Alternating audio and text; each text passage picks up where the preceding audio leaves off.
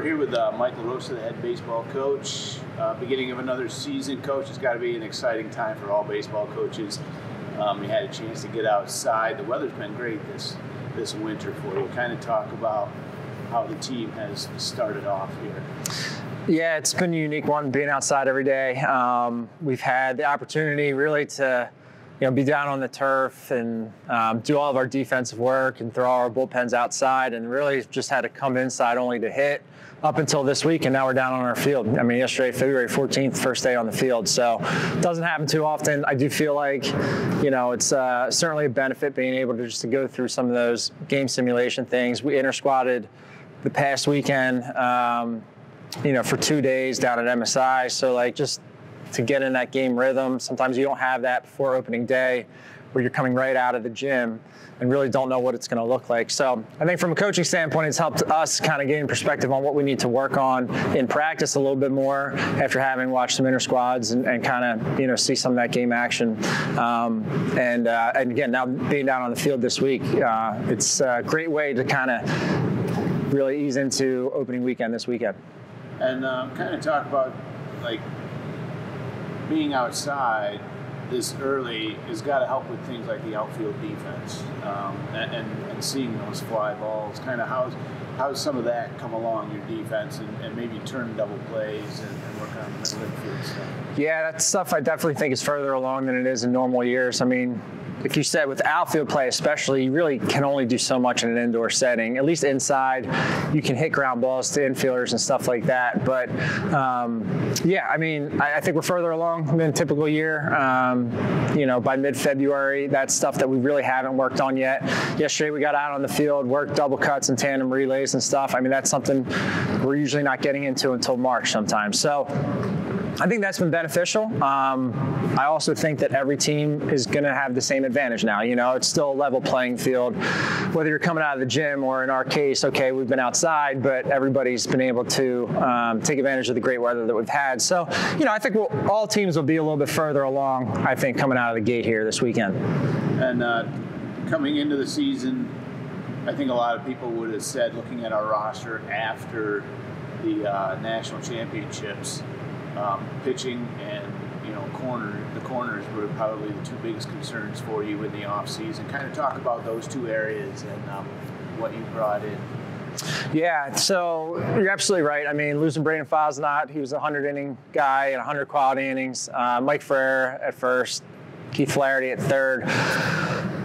Justin Horn, Zach Wright. I mean, those were some of our big losses from last year. And um, tough to replace, but I think on the mound, I do think we have more depth uh, than we had. Um, bringing in some key transfers, David Ferguson, a right-handed pitcher from Pitt, uh, who has looked really good in the fall, looked really good early on here. Um, definitely going to be most likely a conference starter for us. Josh Paulina, who uh, is NCAA eligible, eligible as a freshman, but he played the last two years in the San Diego Padres organization. So, you know, you kind of get a guy with a professional background coming in. Um, who, you know, same thing. Six six righty, like has good stuff, power fastball, um, and I think that's something that we were missing a little bit last year. Some of that power, um, you know, and high velocity guys that, that we have now. And then, um, you know, returning Joe Sperone. I mean, Joe you know, was eight and two, I think, as a conference starter for us last year. Pitched in big games, clincher in the super regional. Um, you know, so having him and he's kind of a horse on the staff. So I definitely like, I think that stabilizes a lot of those things. He can kind of fill into that role that like Fosnot had last year. Um, and then, you know, adding in some of those other key guys that we brought in. Um, I definitely think is going to help with some of that. And then, you know, outside of that, Julian Costa, who was a redshirt freshman last year, like he's a left-handed pitcher that is, um, I definitely think, going to accumulate some innings. Brought in some freshmen, Ryan DeHaven, a left-handed pitcher, uh, Nick Noga, righty.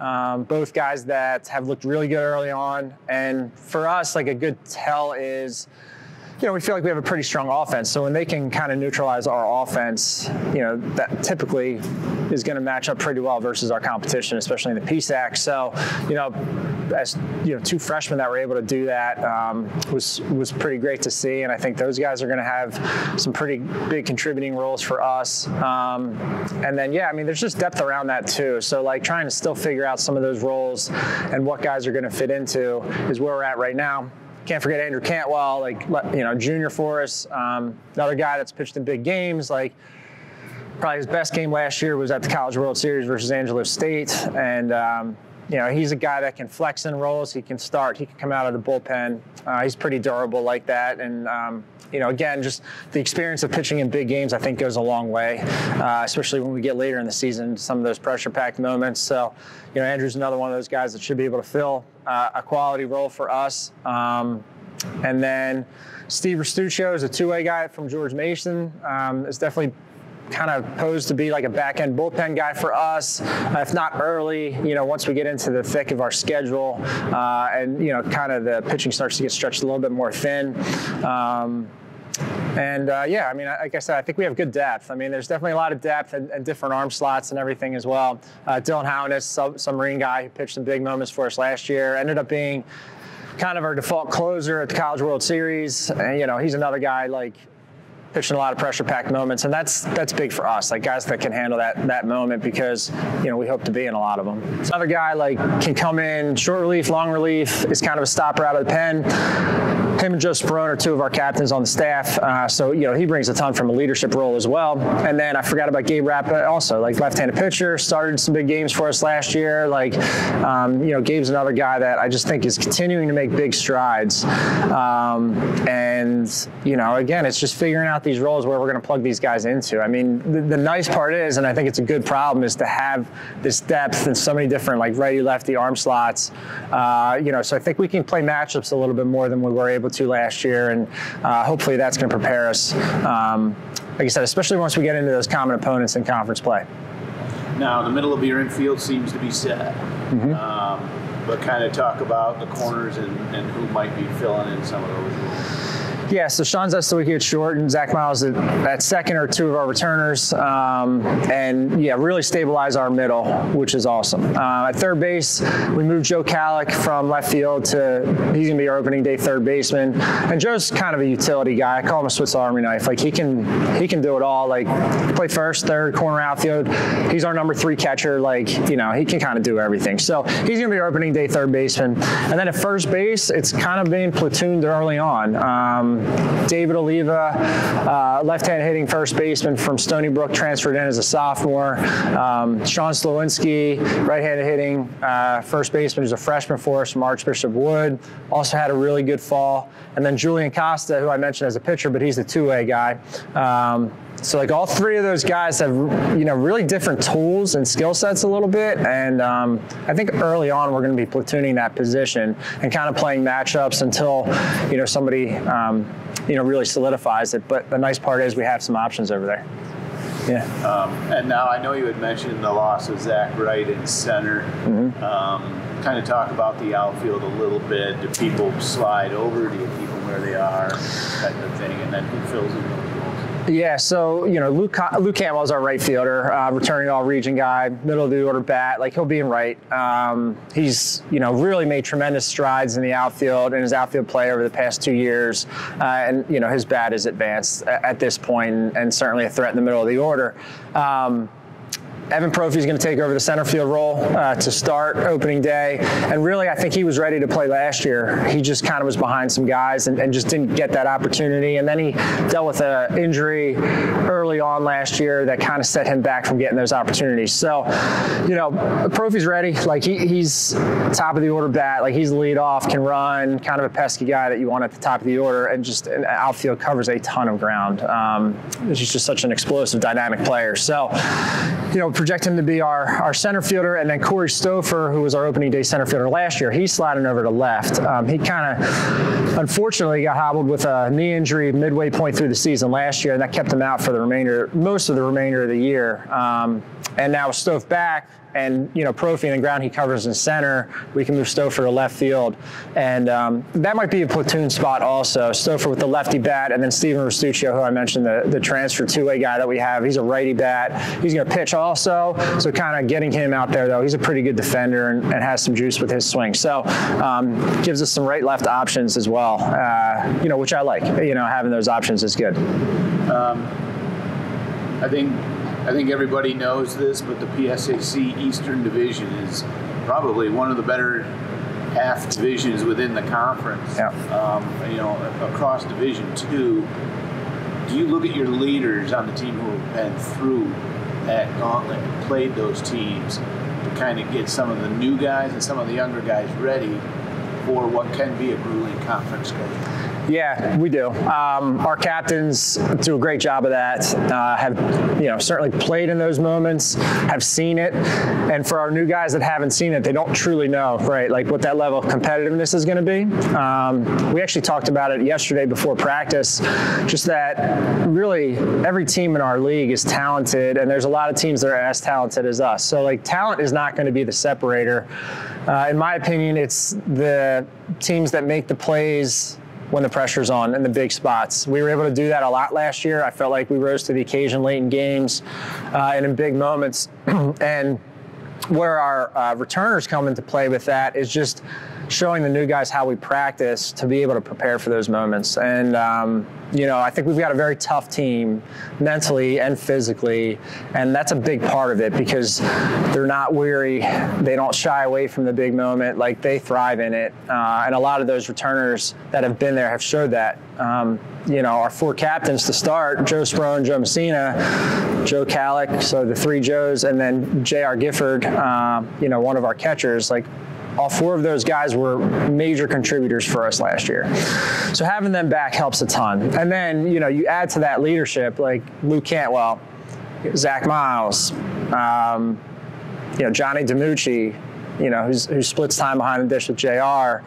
So we do have a lot of guys of that core of last year that have returned and you know are used to the competition, understand what the PSAC East looks like, and what I'll say, I think that everybody got out of last year's experience is once we got to the College World Series, you really kind of realized like the level of play in the PSAC East because while every team there was very good, did feel like it was comparable competition to some of the better teams in the East, and you know specifically that we faced uh, in the regionals, super regionals. Um, talk a little bit about the uh, the little things in baseball, like like the base running, uh, things like that, mm-hmm. and, and kind of your philosophy. Are you taking extra base whenever you can? Um, if you make a mistake on the base pass, as long as it's an aggressive one, um, you know, do you do you look past that? But uh, or are you like waiting for the three run homer? What's, you know, what's kind of your uh, your philosophy this year's team? I, I love both of them. I love the extra base. I love the three run homers. Uh, so, you know, it's blending the two. Um, we talk about having an offense, um, you know, that can kill you by a thousand cuts. So, you know, we can take, you know, stretch a single into a double, steal third base, score on a wild pitch, but also, yeah, leave the yard with two runners on base and two outs at a time too. So, you know, it's the ability to kind of do it all. Um, we spend every day at practice, we spend time on base running. That is a big part of our system. Um, and we talk about being just reckless uh, or aggressive, not reckless with it. So, while yes, you have to accept that there are going to be some mistakes and you are going to get thrown out, especially early in the year, the goal is that you can kind of work through some of that stuff so that by the time conference play comes, you're hitting your stride and guys have a good good sense of how the base running system works. Uh, fortunately, with a lot of returners in the li- in the lineup that already did it last year, like they're pretty comfortable with how we do things there. But uh, yeah, really, it's just to apply as much pressure on the opposing team's pitcher and defense as we can, and that's really like what our whole system is built around. If we can apply the pressure, you know, at some point there's a breaking point, uh, and that's usually where we can start to tip the scale into our favor. Um, so you know, it's a blend. I mean, you know, we certainly lost some power, you know, with with Mike You know, graduating last year, and Keith and, and Zach Wright, um, you know, and, and, some of our home run guys. So, you know, we got guys in our lineup this year that can, you know, certainly leave the yard. I do think we have a dynamic offense where we have a lot of speed as well. So, like, just you know, split the gaps and run. We're going to leave the yard when we can, but that's not necessarily something we try to do, you know, or talk about. That's more so just kind of a, a byproduct of having a good approach, good swing, like how we train it, and, and all that kind of stuff. And so now, I, I guess I have to backtrack a little bit. I don't want to forget about the catching. Mm-hmm. Uh, Gifford and DiMucci, two very good uh, guys there back there uh, platooning. Yes. Kind of talk about what each one of them bring. Where's where's JR's strength? Where's Mooch's strength? And um, you know how do they complement? Yeah, so my hardest job, I think, is figuring out which one of them is in the starting lineup on a given day. Because truly, I think on any team, either of those guys is a, is a number one catcher we literally have two number one catchers behind the dish. And both of them have a different skill set. So, you know, defensively, um, your JR is very mature, um, manages the pitching staff very well, uh, has a good understanding and, and, baseball IQ and like sense of calling pitches. Um, you know, he's good, good catch, like block and throw guy, um, and just really has a presence behind the dish that I think kind of the other fielders see and feed off of. Um, offensively, like he's got juice in his bat. He's a guy that can leave the yard at any time. Uh, DiMucci, you know, same thing. Another like high IQ guy behind the dish, plus catch and throw guy. Uh, his arm strength is really advanced. Uh, he can neutralize our, opposing team's running game very easily. Um, and then, you know, offensively though, like he's he's a speed guy. He's our second fastest runner on our team, which you typically don't see from a catcher. So like, he's a threat on the bases. He can bunt, he can run, uh, and he also has juice. Like he'll leave the yard randomly, and um, he is a threat there. So like he's a very dynamic player too. Uh, so you combine the both of them, and, and really we just we just try and play matchups. Like certain guys handle other guys on the staff well. Um, you know, so sometimes that's the matchup. Is you know we got one guy catching, you know, for one specific pitcher. Sometimes it's an offensive matchup, like, you know, one guy just, you know, matches up better against the starter we're going to see from the other team. So, you know, that's a platoon role. Um, you know, they are close to splitting time. It's, it's tough with the three game weekend series because you, know, you really can't split them in that moment. We're going back to the four game series again next year. Uh, so, you know, if we were a four game series, like I would say they would each catch two games of, of every weekend. But, um, you know, right now with the three game series, it's a matchup thing. And then the midweek, same thing. But um, it's just really nice to have two catchers that you can rely on, uh, and that brings so much to the to the team. Um, and they impact the game, even if it's not in, in the stat line. Like both of those guys, they can impact the game, which is how they receive, how they call pitches, all that kind of stuff. So I know Mooch last year came to you and said, "Coach, I can play second if you need to." Is that yeah. an emergency thing for you this year, or do you think he's kind of a, a backup infielder in a it's, you know in a situation? Yeah, he is a backup infielder. Um, Does he own a, an infield glove? He has an infield glove. Yeah. So he so he played second at LaSalle the year before before he transferred, and uh, that's kind of how I just I wouldn't have otherwise known that he played infield. So we basically just told him last year, like, hey, anytime we're taking BP and you're not catching bullpens or hitting, just go out to second base and take fungos. And that's really how it started. And then the one day we were going to Citizens Bank Park, and I think Miles was sick. Mooch was going to start behind the dish that night, and then he went to second. And then it was like bam in a regional or super regional. I forget which one it was we had to do like a double switch. Mooch ended up having to go to second base randomly and like made a play in a big spot. So like, um, it's the same thing. I mean, he is super athletic, and that's the thing about Mooch. Like he can go to second, short or third, and I would feel very confident with him out there. The thing is, he's so good behind the plate that like you don't want to take him away from there unless you really have to. Yeah, yeah. All right. Thanks, Mike. Thank you.